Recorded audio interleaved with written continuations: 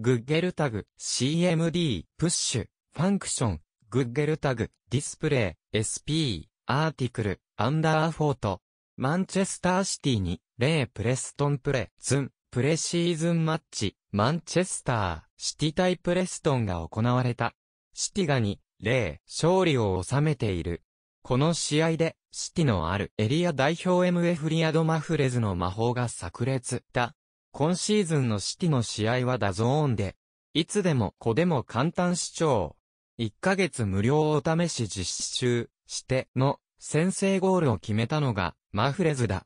ペナルティエリア手前の右で FK を得ると、ボールに向かうのはマフレズ。左足でボールを蹴ると、ゴー、右上に吸い込まれた。これは完璧と言っても FK だった。